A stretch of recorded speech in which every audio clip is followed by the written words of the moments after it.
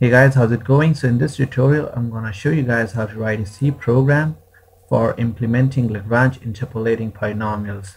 So basically, um, what these Lagrange interpolating polynomials do is that let's say you are given n plus 1 data points, that is xi, yi, then what this interpolating polynomial will do is um, it will be a polynomial of degree less than or equal to n that is one less than the number of data points and it will pass through all the given data points. That is all the n plus 1 data points in order to illustrate it a little a little more pictorially or graphically what you can do is you can head on to the Wolfram page for Lagrange interpolation polynomial or interpolating polynomials and then you can see that um, let's say you're given two data points. Now the uh, best way to connect these two points would be through a line. So here we have a linear Lagrange interpolating polynomial as the best fit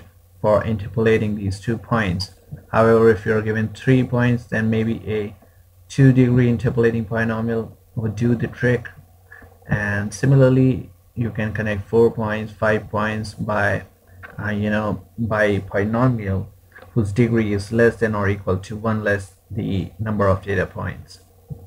So this is what we could do using the Lagrange interpolating polynomial. So given only data points you could generate a function or an interpolating polynomial that would pass through all these points and thus you could use it to you know um, interpolate the value between these points.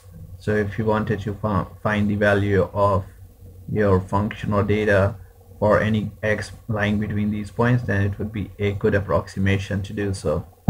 So there are many sources on the internet so you can either check out wikipedia page wolfram page or any other page. However for your convenience what i've done is i've written a blog post on my blog that is bragitoff.com so here i have provided all the necessary information that you'll be needing. So basically um, we'll be you know needing n plus 1 data points xi yi and then we'll be you know calculating the Lagrange interpolating polynomial. And the formula for this is given as p of x where p is the Lagrange interpolating polynomial equals to summation of li of x times yi. So y are your y-axis data points and li of x is another auxiliary function. And you will be summing it over all the data points. So that is why my index are starting from 0 to n. So we have n plus 1 data points therefore and let's say I have indexed them such as x0 y0 as the first pair of data points and x1 y1 as the second pair up to x and yn that would be the n plus 1th pair of data points. So from these you will get the value of yi and then li of x would be calculated using another formula. So here is the formula for that. So it is a product of you know x minus xj divided by xi minus xj such that j index goes from 0 to n that is through all the points data points that is n plus 1 data points and such that j is never equal to i. So basically li of x is given as like um, x minus x0 by xi minus x0 times x minus x1 divided by xi minus x1 times and so on such that j is never equal to i. So these are the two formulas that we'll be using. So coming to the code. So what I have provided here is I provided the complete program or the source code for implementing such a um, procedure and then you can even have a look at the output. So in this tutorial what I'll be doing is instead of writing the code from scratch I'll just be you know copying it and explaining it to you um, in steps that is what is going on here. So um, coming to the program so basically as I already told you what we need to calculate is the p of x or pn of x whatever you like to call it. So what we can do is we can create a function called pn. So here we have a function called pn which would return the um, you know this value of the Lagrange interpolating polynomial. So Pn of x would be my Lagrange interpolating polynomial for a given value of x. It will give me the interpolated value. So here I have the function pn and what it takes as arguments is it takes the information of the number of data points that is n. So however don't be confused because in my you know blog post and everywhere the convention I'm using is that we have n plus 1 data points. So here you could either you know have n or you could either have n plus 1 so in my convention n means that we are uh, you know using one n here is one less than the total number of data points however the actual number of data points is basically n plus 1 so in this program the first argument would be n so that we know how many data points we are dealing with. Then the second argument would be the x-axis data points. Then the third argument would be the y-axis data points. Now as you can notice here it is a um, it is an array a single dimensional array x of size n plus 1 so that's how you know we are dealing with n plus 1 data points. And then again we have another array y which stores the value of y-axis data points and it is uh, again of the size n plus 1 and they are both of the type double so that we can deal with decimal values. And then we have the last argument that is x or uppercase x which would be the value of x for which we want to evaluate the interpol or we want to interpolate the function.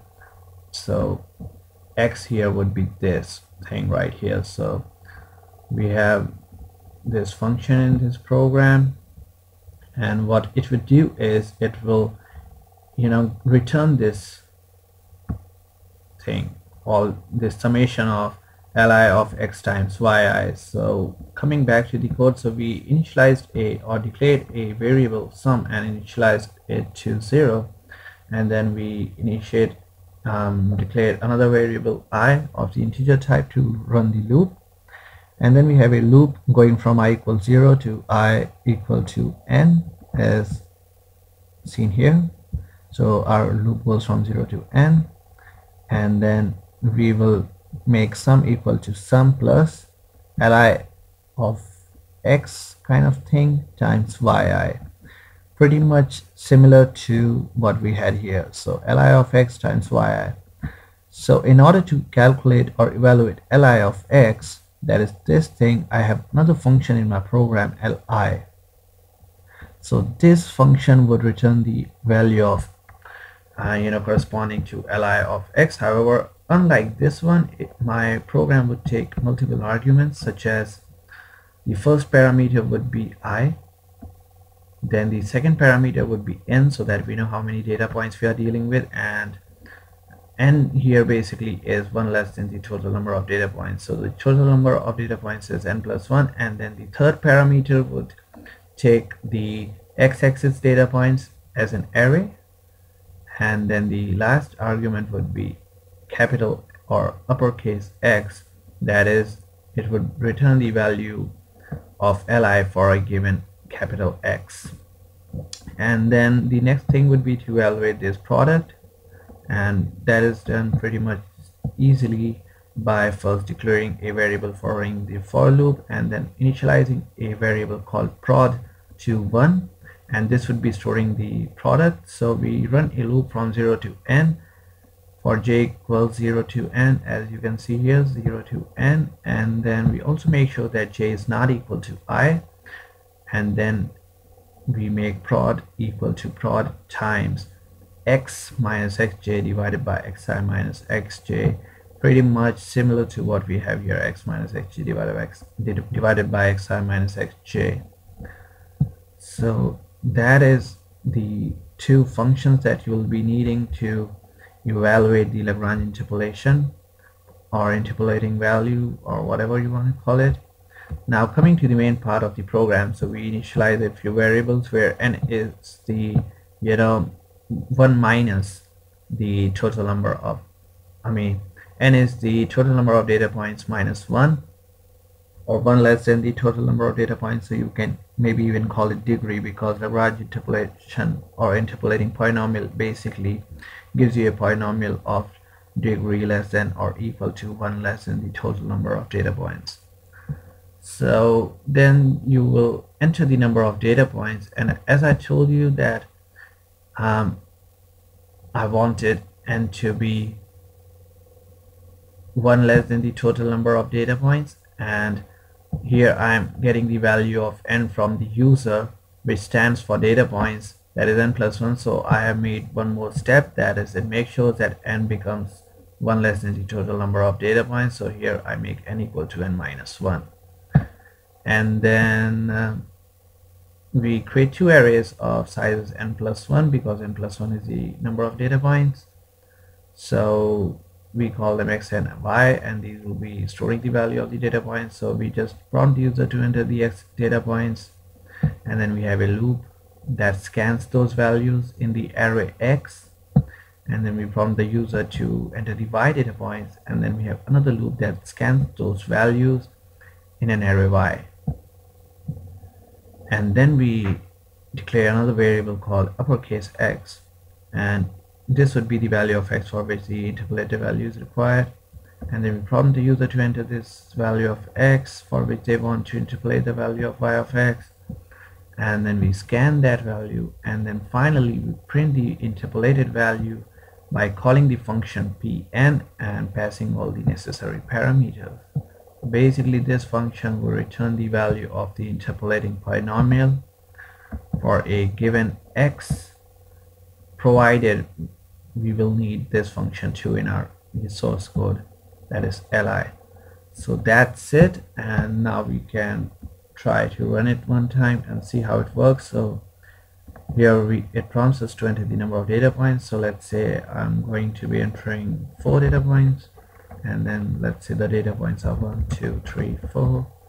And let's say we are you know giving x squared values so that would be 149 16 and let's evaluate the value of the function for 1.5 and we get the interpolated value to be 2.25 which is good because 1.5 squared is actually 2.25 so as you can see the program works pretty well and you can try it for a, um, a variety of data points and see how good this approximation is for polynomial interpolations and even some special interpolations uh, involving exponentials or things such as that. So that's it. I'll make sure to add the link to this blog post in my uh, in the description down below so you can check it out and use this source code and have a look at it. I've also added a um, link to an android app that i created. So basically this app you know does the exact same thing that i showed you in this um, tutorial or this C program with the added benefit of a cool android GUI so unlike using your you know black screens of C you would be you know welcomed by a nice looking GUI where you can enter the number of data points then you can enter the data points. And then it will show you the plot of the interpolating polynomial as well. So as you can see it will show you the original data points by these dark circles and the interpolating polynomial by this continuous curve. And you can even set the ranges for this plot and even interpolate the value you by for a given x. So this is the app that I've created for Android so you can check it out. And that's it. Thanks for watching. And in case you enjoy this video then don't forget to hit the like button and subscribe to my channel for more videos like this. Thanks for watching and have a great day